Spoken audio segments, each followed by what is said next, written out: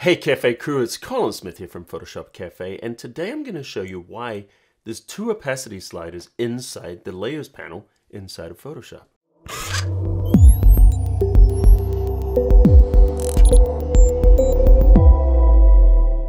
So you may have noticed that there's two different opacity sliders inside of the layers panel in Photoshop. What are those there for? Well really that's the secret slider to create transparent uh, objects such as glass, and liquid for type. Let me show you exactly how it works. I'm going to create some text here.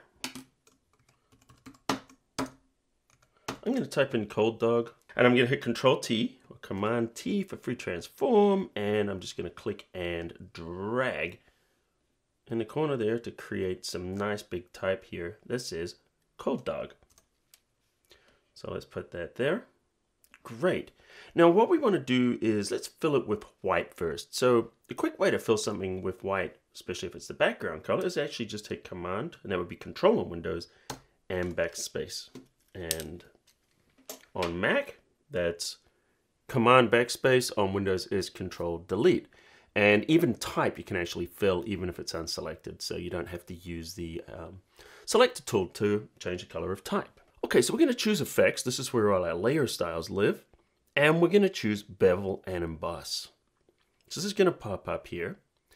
And one of the tricks about making bevel and emboss look good is to actually go into contour here and make sure you turn on anti-aliasing. And what it does is it gives it the edge, but it looks a lot nicer than just grabbing it up under the bevel and emboss there.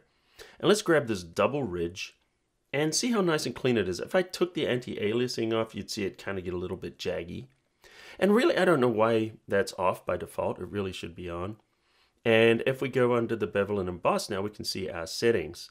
Now, there's a couple of little tricks here to make this work. Now, depth, what this does is it just kind of gives it more or less contrast around the edge. It just kind of makes it look more deeper or shallower in the chisel.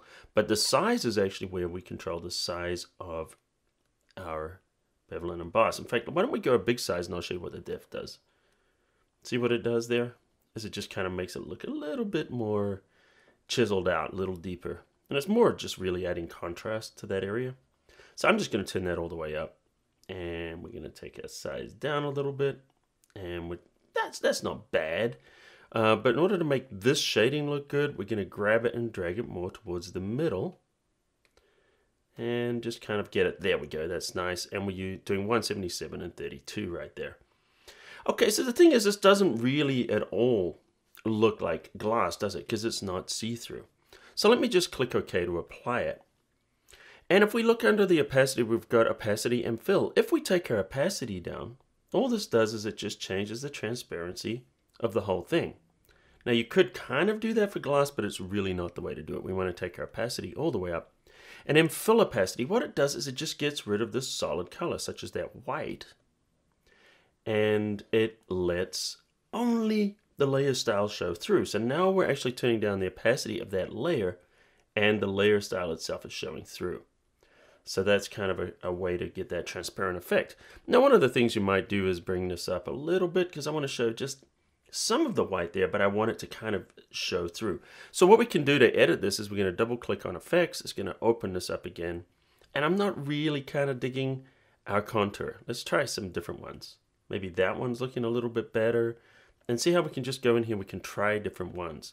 But that's really the one we want. So here's the other thing, to really make this work, change the gloss contour and make it the same. Boom, see that? Now it's really hitting. And we're gonna change our angle more straight on. Let's just kind of play around with it. There we go. That's looking better. Now we're getting that glossy effect. And we're gonna create a little bit of a shadow. So we're gonna choose a drop shadow. But before I add the shadow, actually, what we're gonna do is we're going to make it kind of a blue cool effect. So we're going to choose the color overlay. And this is how we can add color in here. Uh, we're going to add a little bit of blue here without losing our opacity. You'll see what I mean.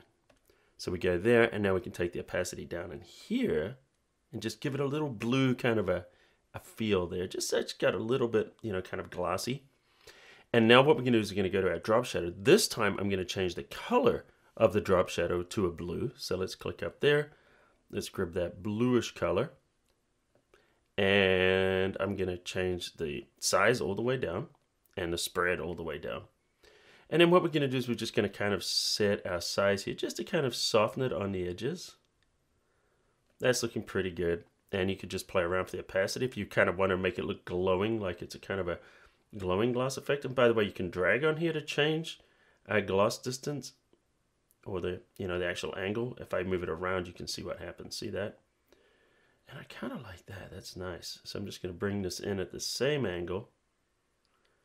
Kind of give us that glossy effect. And I'm going to bring our opacity back down just a little bit.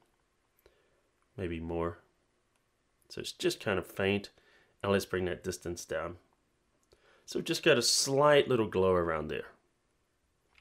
So anyway, right now I'm lucky. I'm in California where it's actually quite warm. What about where you are? What's the temperature? Is it is it freezing over or is it nice and warm where you are as well? Let me know in the comments underneath. By the way, if you're not part of the Cafe crew, hit the subscribe button right now and you're going to get a new tutorial every single week and also hit that little notification bell and that will let you know when I upload a new tutorial and also to let you know when I do live streams which I do occasionally. And in fact if you've got a question for my next live stream drop that into the comments as well. So anyway guys thanks for watching. If you like this smash that like button into dust. And until next time I'll see you at the cafe